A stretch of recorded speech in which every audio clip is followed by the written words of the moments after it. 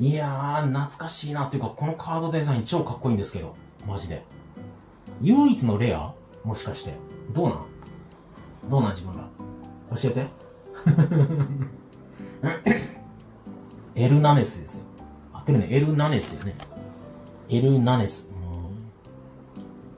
いいよね。懐かしいよね。なんか、印象としてはさ、まあトップ下っていうかインサイドハーフなんやけど、なんか戦えるファンタジスタみたいな感じだったよね。印象としてなんか戦ってたよね。なんか結構守備ができるみたいな。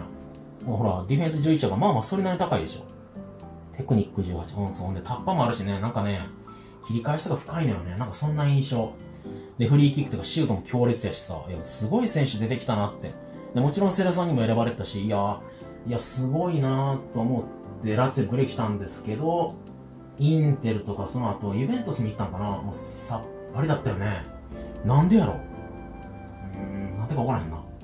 やっぱインテンシティが、やっぱ足らんかったんかな。ちょっと謎だよね。うん。で、その後はなぜかあのね、中国に行った。金目がプランだかな。うん、で、ブラジルで引退という感じかな。これでも確かサンパウロの監督、あの、カードもあったよね。若かりし頃の。いらんけど。うん、持ってないけど。うん、あったよね。うん、でももちろんね、セレソンにも選ばれてるし、ワールドカップに出たよね。でもワールドカップで全然大した活躍できなかったよね。なんやろな。なんでこれだけのフィジカルとテクニックがあって活躍できんのかな。ちょっと謎だよね。本当に謎よね。うん、むしろセレソンでバリバリやっててもおかしくないぐらいの選手だからさ、確かに2014年かな、自国開催のワールドカップに選ばれたと思うんですけど、全然だったよね。名前出てきたみたいな逆に。なんで活躍できんやろなぜやな。やっぱメンタル、メンタルとあとはサッカー IQ なんかななんやろね。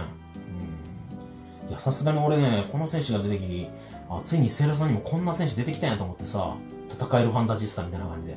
でも最強じゃねって思ったんですけど。ねえ、わからないもんよね、サッカーっちのね。はい。まあ今はね、なんか引退してから別に、特に何も出てないので、指導者とかやってないって